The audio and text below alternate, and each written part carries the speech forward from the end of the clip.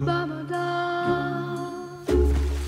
Yokio is the greatest city in the world. It is a diverse labyrinth of cultural and architectural innovation. Busted. Of course, whenever a city becomes the envy of the world, She's possessed? That sucks. problems are bound to arise. Kaz Kaan, we need to discuss a matter of national security. We've seen a dramatic rise in occult activity. You have a sacred duty to protect the city as well as our family name. I told you to clear my schedule. I'm grieving the death of a relationship. Oh dear.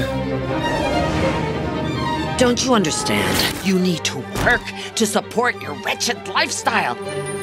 Oh, look! It's Neo Yokio's second most eligible bachelor.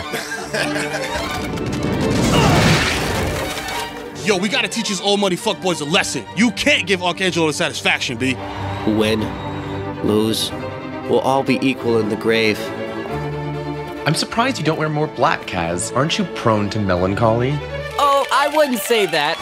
I have a generally cheerful disposition. Hi, Casimir. Slayer of demons. Ah, ah. I can see you, bitch. You're wearing a black tuxedo against a midnight blue sky, and it's sparkling. The city's on high alert. It's a perfect storm.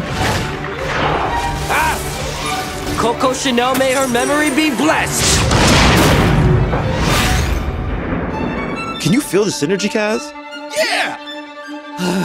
no, I feel no synergy.